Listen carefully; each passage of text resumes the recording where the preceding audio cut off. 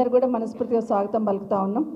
ఈరోజు కాంగ్రెస్ పార్టీ చేస్తున్న అరాచకాలు కాంగ్రెస్ పార్టీ పాలన నచ్చక ప్రజలను ఏ విధంగా ఇబ్బంది పడుతున్నారని గమనించి ఆ పార్టీలో ఇమడలేక మేము బీఆర్ఎస్ పార్టీలోకి వస్తాము. కేసీఆర్ గారి నాయకత్వం ఈ రాష్ట్రానికి శ్రీరామ రక్ష. కాబట్టి కేసీఆర్ గారు వెన్నంటే మేము ఉంటామని వచ్చిన మీకు అందరికీ కూడా మనస్ఫూర్తిగా స్వాగతం చెప్తా ఉన్నాను పేరు పేరున. వారు వారితో పాటు వచ్చిన వాళ్ళందరికీ. ఒక ఐదు పది మంది కండువాలు వేసినాం కాబట్టి అని కాదు ఇక్కడికి వచ్చిన అందరికీ కూడా మీకు అందరికీ స్వాగతం చెప్తా ఉన్నాను. అయితే చాలా సంతోషం. గౌరవ పెద్దలందరూ కూడా ఉన్నారు. రాజేందర్ కూడా కనిపిస్తున్నాడు. చాలా సంతోషం. అందరు కూడా వచ్చిన వాళ్ళందరూ కూడా స్వాగతం చెప్తా ఉన్నాను. ఒకటి మాత్రం స్పష్టంగా అర్థమైంది. ఒక్క మణికొండ మున్సిపాలిటీకి సంబంధించి ఇక్కడికి వచ్చి ఉన్నారు.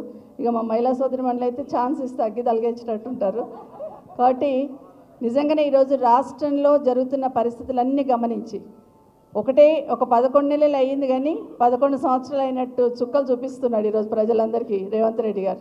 సో ఎప్పుడు పోతారా మళ్ళీ ఎప్పుడు కేసీఆర్ గారు వస్తారని ఆలోచన ప్రతి ఒక్కరికి వచ్చింది. కింది స్థాయి నుండి పై స్థాయి వరకు ఒక వ్యవసాయ కూలి నుండి మొదలు పెట్టుకుంటే ఒక వ్యాపారవేత్త వరకు కూడా ఏంటి ఈ రాష్ట్రంలో పాలన కేసీఆర్ గారు ఉన్నప్పుడు ఎట్లుండే ఎట్లా ఉందని ఆలోచన ప్రతి ఒక్కరికి కలిగింది. అదేవిధంగా ఈరోజు మణికొండ మున్సిపాలిటీ తీసుకుంటే తెలంగాణ రాకముందు ఎట్లుండే కేసీఆర్ గారు వచ్చినాక ఎట్లా మారింది అనేది ఆ ప్రాంతాన్ని చూస్తేనే అర్థమవుతుంది. ఆ ప్రాంతం ఏ విధంగా బాగా డెవలప్మెంట్ అయింది ఎప్పుడు నేను కేటీఆర్ గారితో గొడవ పడుతుంటే. షేర్లింగంపల్లి రాజేంద్ర నగర్. అసలు ఈ రెండు నియోజకవర్గాలకు మీరే ఎమ్మెల్యేనా అని అడుగుతుంటే మంత్రి గారికి నేను ఆ రోజు. ఎందుకంటే ఎక్కడ చిన్న సమస్య ఉన్నా డబ్బులు తీసుకుపోయి రాజేంద్ర నగర్లో పెడతా అంటుండే షేర్లింగంపల్లిలో పెడతా అంటుండే. ఈ గల్లీకి ఈ గల్లీకి రోడ్ లేదు లింక్ రోడ్ కావాలా? ఇక్కడ బ్రిడ్జ్ కావాలి నార్సింగ్ దగ్గర రింగ్ రోడ్ దిగాలి అన్ని ఇవే ఆలోచిస్తుండే మంత్రిగా ఉన్నప్పుడు కేటీఆర్ గారు. సో ఎప్పుడు నేను గొడవ పడుతుంటే అసలు ఎమ్మెల్యే గారికి అవగాహన ఉందో లేదో? కానీ రాజేందర్ నియోజ నియోజకవర్గం మీద షేర్లింగంపల్లి మీద మీకున్న అవగాహన ఇంకెవరికీ లేదండి. అంత బాగా డెవలప్ చేసిందని చెప్తుంది. మనం అనుకున్నామా మన దగ్గర సైకిల్ ట్రాక్ ఎట్లా వచ్చింది రింగ్ రోడ్ పక్కన? అసలు ఎక్కడన్నా ఉందా? హాయిగా పొద్దున్న లేస్తే దాన్ని చూస్తే సైకిల్ దొక్కనికి రాని మాలంటలో కూడా జర తొక్కితే బాగుండు అన్న ఫీలింగ్ వస్తూ ఉంటుంది. అంత బాగా చేసింది. సో ఇట్లా ఒక్కొక్కటి ఆలోచించి అంటే ఒక్కొక్క అడుగు వేసినప్పుడు ఈ రాష్ట్ర ప్రతిష్ట పెంచే ప్రయత్నం కేసీఆర్ గారు చేశారు వారి నాయకత్వంలో కేటీఆర్ గారు చేశారు. ఈరోజు మన గండిపేట లేక్ దగ్గర వంద కోట్లు పెట్టి ఆడ పార్క్ డెవలప్ చేస్తున్నారు కదా. ఎవరైనా అనుకున్నామా? మన అప్ప దగ్గర కొండలు గుట్టలు ఉన్న ఫారెస్ట్ ల్యాండ్ని ఈరోజు సండే సండే వెయ్యి మంది వాకింగ్ పోతారట అక్కడ. అంటే అక్కడ అంటే అంత ఆలోచించారు. అంటే భవిష్యత్తులో ప్రజలకు ఏం కావాలా ఏం చేస్తే బాగుంటుందన్న ఆలోచన గతంలో కేసీఆర్ గారు చేస్తే ఈ పదకొండు నెలల్లో ఈ రాష్ట్ర ప్రతిష్ట పదకొండు పది సంవత్సరాల కేసీఆర్ గారు ఎట్లా పెంచారో పదకొండు నెలల్లో నెల నెల నెల నెల తగ్గించుకుంటూ పోయారు. ఈ రాష్ట్ర ప్రతిష్ట ఎట్లా దిగజార్చాలనే కంకణం ఈ రాష్ట్ర ముఖ్యమంత్రి గారు కట్టుకున్నట్టు స్పష్టంగా కనిపిస్తుంది. నిన్నగాక మొన్న మేము కొడంగల్ దగ్గర పోయినాం. మొన్న గొడవ అవుతుంది కదా మూడు రోజుల నుండి చూస్తున్నాం కదా అవసరం లేని దగ్గర ల్యాండ్ అక్విజేషన్ చేసి ఏ విధంగా బాధ పెడుతున్నాడనేది చూస్తున్నాం.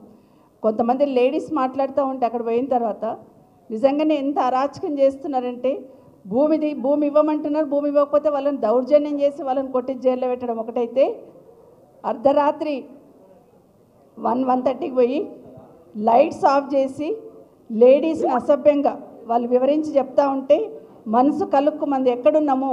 ఎక్కడున్నాము? ఏం చూస్తున్నాం? ఈ రాష్ట్రంలో అనిపించింది.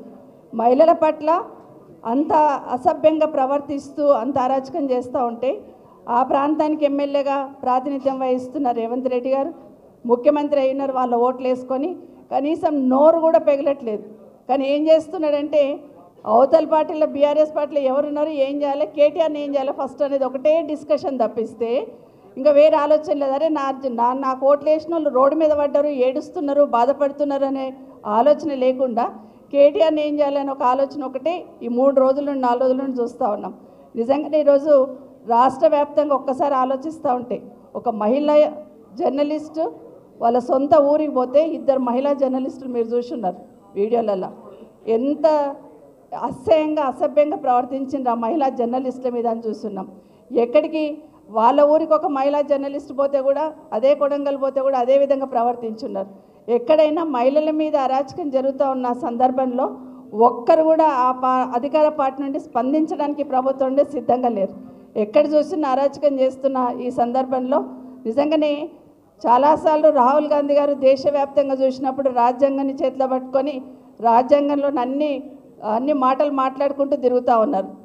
అయ్యా రాహుల్ గాంధీ గారు ఈ రాష్ట్రంలో రైతులు రోడ్డున పడి రైతుల మీద కేసులు అయ్యి రైతులను థర్డ్ డిగ్రీ ప్రయోగించి ఈరోజు జైల్లో పెడతా ఉన్నారు. ఎక్కడున్నారు మీరు?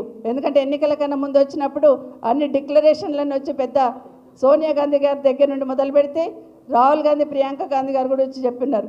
మరి రాష్ట్రంలో ఇంత అరాచకం అవుతుంది కదా?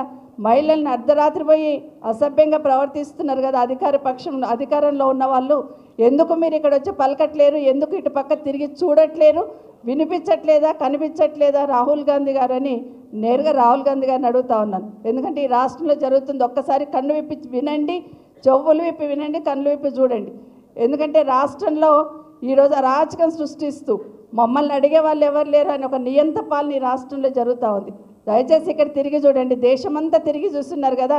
మరి మీ ప్రభుత్వం మీ ముఖ్యమంత్రి గారు ఉన్న ఈ రాష్ట్రంలో ఇంత అరాక అరాచకం జరుగుతూ ఉంటే ఎందుకు ఇటు పక్క తిరిగి చూడట్లేరు అనేది నేరుగా రాహుల్ గాంధీ గారిని అడుగుతా ఉన్నాను. ఇప్పటికైనా ఇప్పటికైనా కళ్ళు తెరవండి.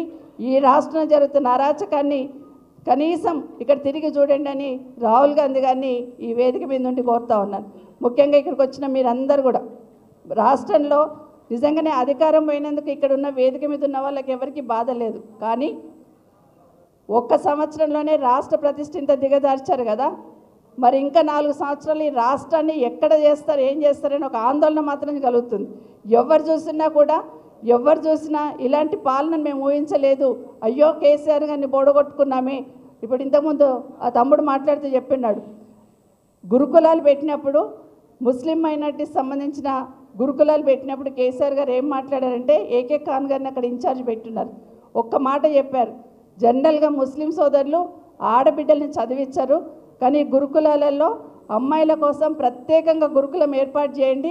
మీ అమ్మాయిలు బాగా చదువుకుంటేనే మీ దాంట్లో వ్యవస్థలో మార్పు వస్తుందని గట్టిగా చెప్పిన చెప్పి నమ్మించి ఈరోజు గురుకులాలు ఏర్పాటు చేస్తున్నారు. ఒక వెయ్యి ఇరవై గురుకులాలు ఉంటే ఆరు వందల యాభై గురుకులాలు అమ్మాయిల పేరు మీదే పెట్టారు. అంటే ఏ విధంగా ఆలోచించినారు కేసీఆర్ అనేది ఒక చిన్న ఉదాహరణ చెప్తా ఉన్నాను. తప్పకుండా మళ్ళీ కేసీఆర్ గారు ఈ రాష్ట్రానికి వారి నాయకత్వం అవసరం. ఈ రాష్ట్ర ప్రతిష్ట ఈ రాష్ట్ర గౌరవం ప్రజల గౌరవం కాపాడాలంటే ఒక కేసీఆర్ గారే రాష్ట్రానికి శ్రీరామ రక్ష. మరొకసారి మీకు అందరికీ కూడా తెలియజేసుకుంటూ. ఎందుకంటే అడుగడుగున అన్ని వర్గాలను అన్ని వర్గాలను అవమానిస్తున్న ఈ ప్రభుత్వానికి తప్పకుండా ప్రజలే బుద్ధి చెప్తారని కూడా మరొకసారి తెలియజేసుకుంటూ మీకు వచ్చిన మీ అందరికీ ప్రత్యేకంగా ధన్యవాదాలు తెలియజేస్తూ ఖచ్చితంగా ఇక్కడ పోరాటం చేసి గులాబీ జెండా